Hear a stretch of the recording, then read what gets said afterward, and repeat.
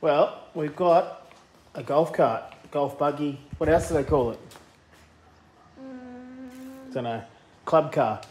Whatever you want to call it, we've got one of those. And it's currently got a not working electric motor in it. What are we going to do? we're gonna swap it. Swap it to what? LS. Yeah, Really? A V8? yeah. Probably. If do you reckon we are that? No, I don't think we're not. No, we're not. We're definitely not putting an LS in it. We're putting one of them eBay motors in it. But the first thing we're going to do is get that electric motor out because we'll be mounting the new motor somewhere in there. And we need to get this body off. We've already started removing some of the crap that we don't need. And these these are some little screws holding this bumper bar. Yeah, I think they can. I think they can stay on. Maybe. Small bits of grass. Oh, okay. Yep, that's a problem. They're growing there. Oh, okay. All right. Well, let's just get started on it, shall we? Yep. We're gonna cut these out. Hey. The bolts. Yep. Cut the bolts off. Yep. and then hopefully get the body off. Yep. Hopefully get all this green plastic No, just the back part. Yes. Getting carried away there, mate. You ready? Go. Got it? Yep. Move your hands. Get out of the way. We'll stand back. No. All right. Now we're gonna do the other side. Yep. Uh, uh, a bit hard. All right. Good job. Make sure you put chassis stands under it. Why is that? Cause never trust hydraulic. Yeah, true. And excavators put their booms like that to park. Let's get the dirt cleaned up, and then we can get under and have a look. The brooms, Yeah. they're always in the same spot. Just over there. All that mud this way. Yeah, make some mud for me to land. That's a good idea. Look, I'm just sweeping it out from under the car.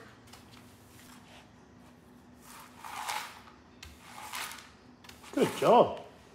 All right, now we got this thing up and the ground is clean.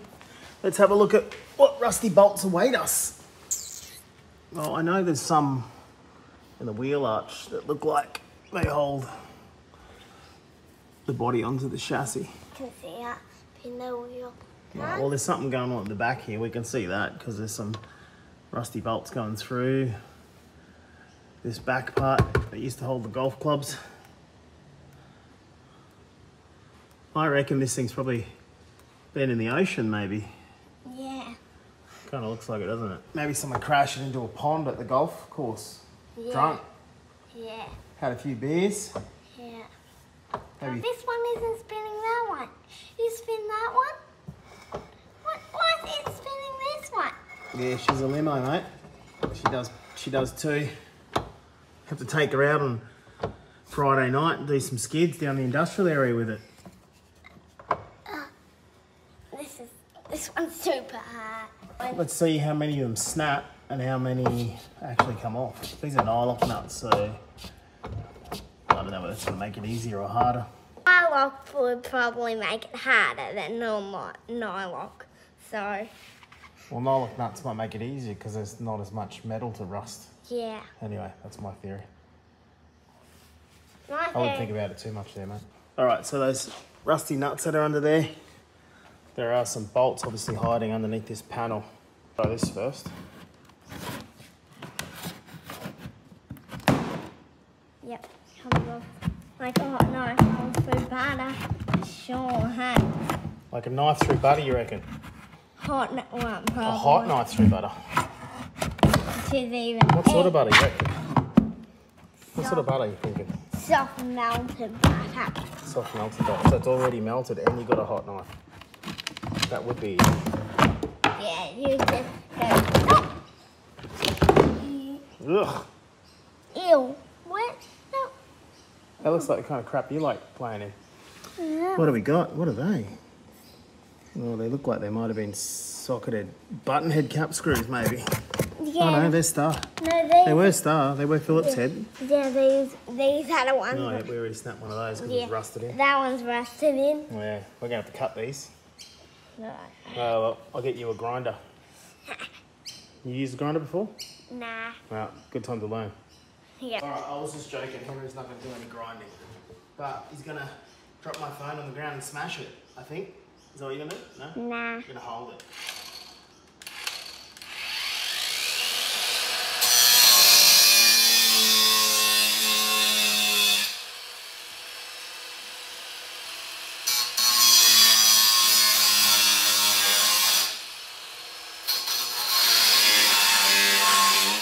Wah, wah, wah, what? Do you want the biggest one in there?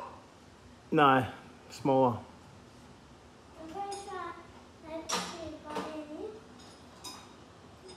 What are you standing on? Yeah, it's safe, I suppose. What do you got?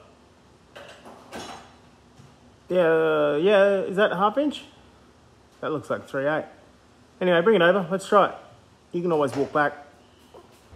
All right, so there's some nuts holding on the back of these bolts that go through these guards, which are probably maybe not even attached to the thing. How do they look at it? Actually, I think this is a waste of time, Henry. I don't think they go through. I think the ones we're after are up there, and that's all that's holding this thing together. Yeah, I know, right? What? I think we need a 12 mil socket, which we already have. I think it's up there. I think let's have a look. Yeah, look, I'm a little bit of a golf car noob, but I think that's all that's holding it now is those there. Get your big buff head in there and have a look. Yep. Alright, so I've got no idea what I'm doing, but apparently these bolts hold it on as well. So I'm just going to undo every single rusted nut that I see and just hope this thing comes apart. What are you doing? 30 mil spanner. Chop, chop. One and a three, right there. I can see it. Look, it's so you're so close. That's it. Probably don't want the ratchet spanner, but sorry to break your little heart there. That'll do it. Yeah. The things that were holding the safe rest, headrest in were holding this body in, but Dad forgot to undo the, nuts on this side here. I think you forgot. Anyway, we cut those ones off. Henry reminded me that these also held onto it for whatever reason. That bracket was broken on that side, so we undone those anyway, but the bracket is the body is cracked. Uh, the chassis is cracked. You, you forgot this side. And I forgot that side. I think you try and lift it up. There you go, look at that. Didn't forget nothing. You got it or what? Yeah. Thought you had your Weet-Bix this morning. Yeah. No, you didn't. What'd you have? Mm, porridge. Ugh. Look at this. What? Look at all that dust. Look at all that dirt. We're gonna get this motor out, this part. We're gonna take the motor off the transmission, whatever that is, diff, whatever you want to call it. Yeah. Look at this mess we've got. Axle. You got so much cleaning up to do.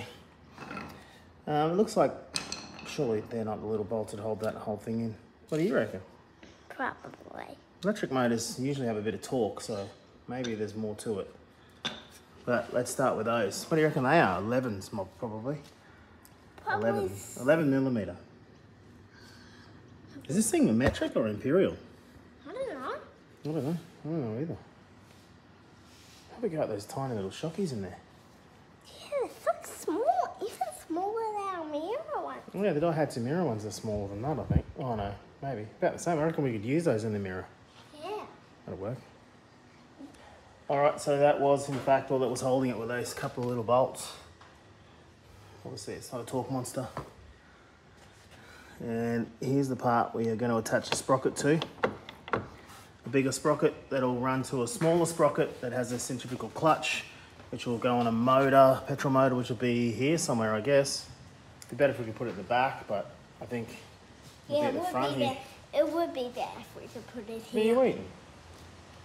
Yogurt. Yogurt. Mango flavored. Chickens is strawberry flavored. Wait, no, he lost it.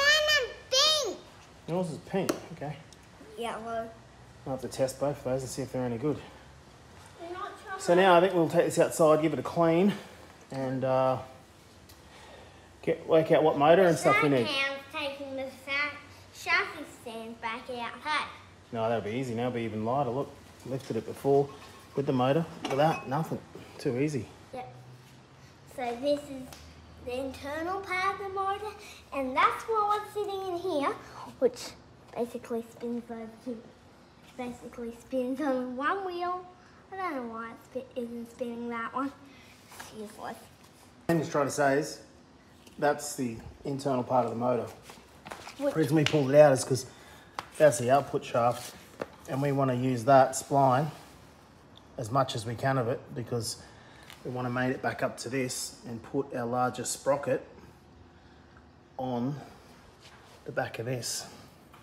So that way we don't have to try and make a spline that fits or anything. We can just put this back on here, but with a sprocket on instead of that big hunk of metal and copper.